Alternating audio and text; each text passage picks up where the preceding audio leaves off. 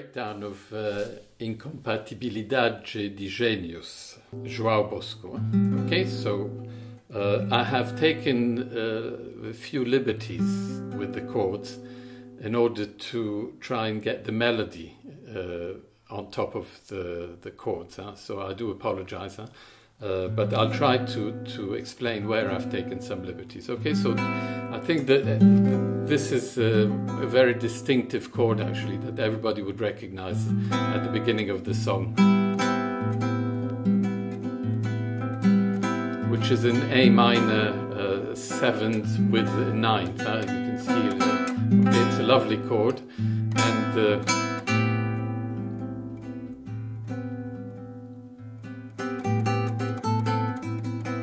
Okay, so the melody is playing on top of this uh, lovely chord, and then I move to D minor 7.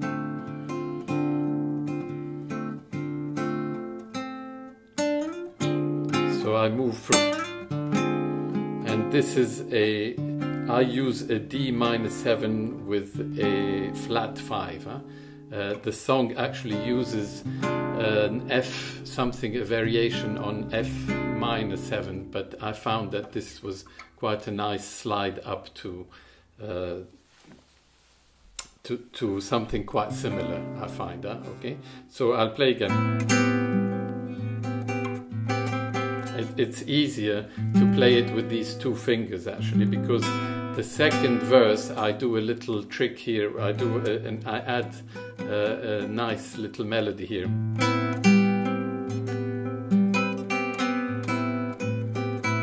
Okay, which I think has adds a nice touch. Huh?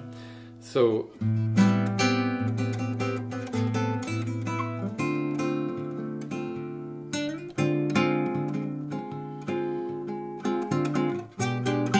So I've added this chord which is an A, this is an A uh, sharp with the sixth, with the flattened ninth. Huh? Okay, so, okay, but I'm using this as almost an excuse actually to have that melody, that's all, huh? uh, and it works with that melody. So, same thing here actually, I've got this diminished chord which seems to work quite well, uh, you know, G sharp diminished with with the melody that I'm trying to keep uh, on top of the chords. Huh? Um, and I end on an A minor seventh, uh, except I I switch to this uh, beautiful chord actually, which is like in a C6 Uh, with a major seventh, or if you if you want to look at it as an A minor, uh, it's an A minor with uh, the the third on the bass and uh, a ninth uh, added. Huh?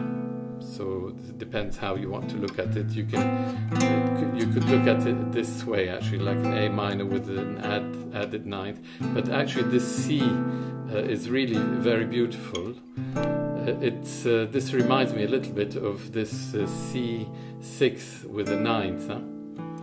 Okay, but uh, this time it's it's a C6 if you want with a major seventh rather, which I guess.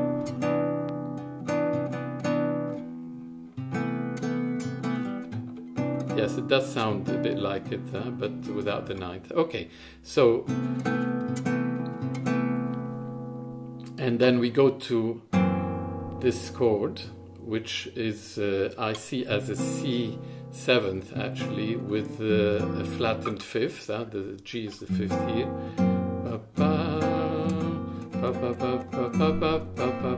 And then I go to a kind of F uh, sixth, okay? Very strongly a sixth because you've got two D's, huh? and I do some variations on that F. And then this is a B minor seventh with a flat uh, five. Okay, you would recognize it. Except I slide it three times, you know.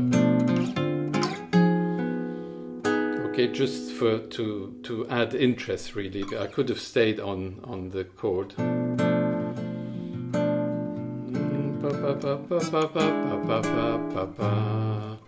Because the song ends on a sort of variations on an E seventh chord. So what I do is so I'm taking liberties with even the melody.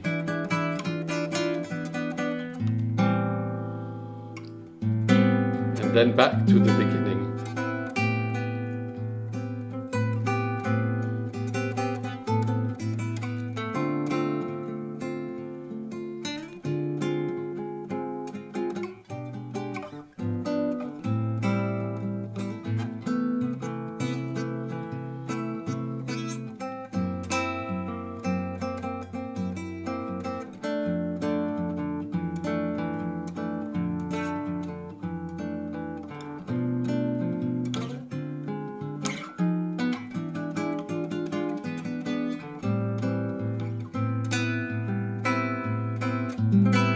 Okay, and then I finish the song on.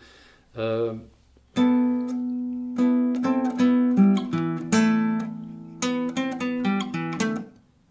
you know?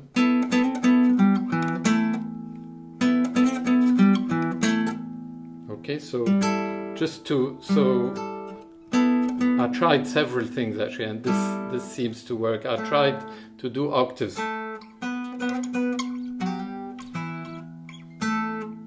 I didn't think it worked as well as.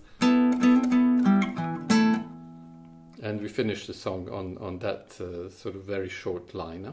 Okay, so there you are. Incompatibilidad, uh, I wish I could say it. Incompatibilidad de genius, uh, João Bosco. Good luck.